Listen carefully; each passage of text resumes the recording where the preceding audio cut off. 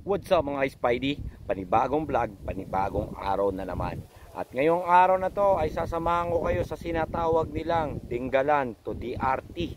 Ngayon kukunan natin siya ng drone shot. Ayan, ito daw yung mag ma mag-uugnay sa Dinggalan at DRT na ginagawang bypass. Tara, samahan niyo ako. Let's go! Magmumula daw sa barangay Kalawakan, DRT Bulacan at tinatawag nilang DRT to bypass road mga ka-Spidey. Kaya nyo naman, samahan nyo ako sa isang moto adventure at alamin natin kung ito ba ay buo na o hindi pa. Kaya mga ka-Spidey, samahan nyo ako. Libutin natin ang tinatawag nilang bypass road DRT Bulacan to Dingalan. Let's go!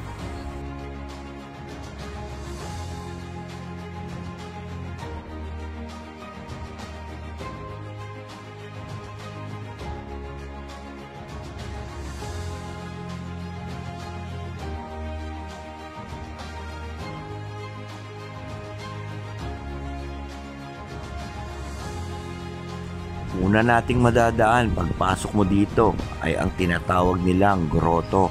Ito nga ang tatlong persona tinatawag dito sa sitio malapad na parang. Kaya naman maraming tayong tru- tourist spot na madadaanan at makikita sa pagpunta mo sa DRT to Dingalan Bypass mga ka-Spidey. Kaya itong grotto na to nadaanan natin at naispatan natin ang Diyos Ama, Diyos Anak at Diyos Espiritu Santo.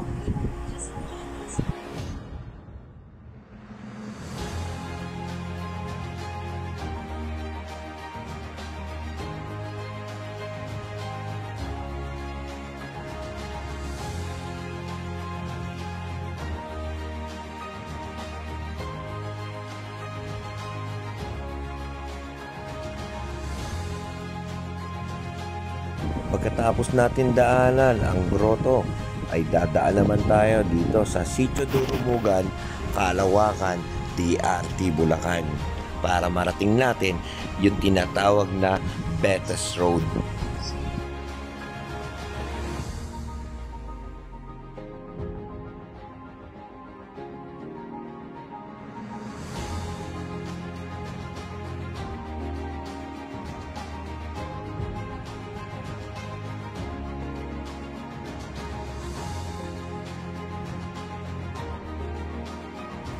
Ang susunod nating dadalan mga kay Spidey ang tinatawag nilang Betes Road kung saan yung kalsada na to ay nasa itaas ng kabundukan.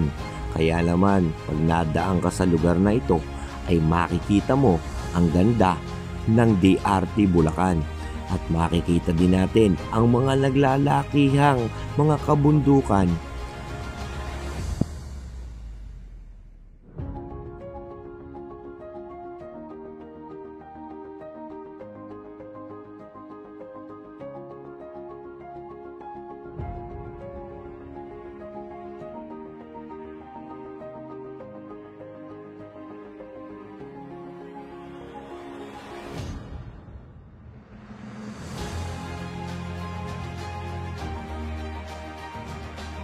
natin mag Betes Road ay dadaan tayo dito sa Talamsi Road mga kay Spidey at aabutin natin ang tinatawag nilang Kambubuyugan Road at pagkatapos niyan ay magkokonekta naman yon sa Nueva Ecija kung saan mapapalapit na rin ang tinatawag nilang Minalungaw Park o General Tino.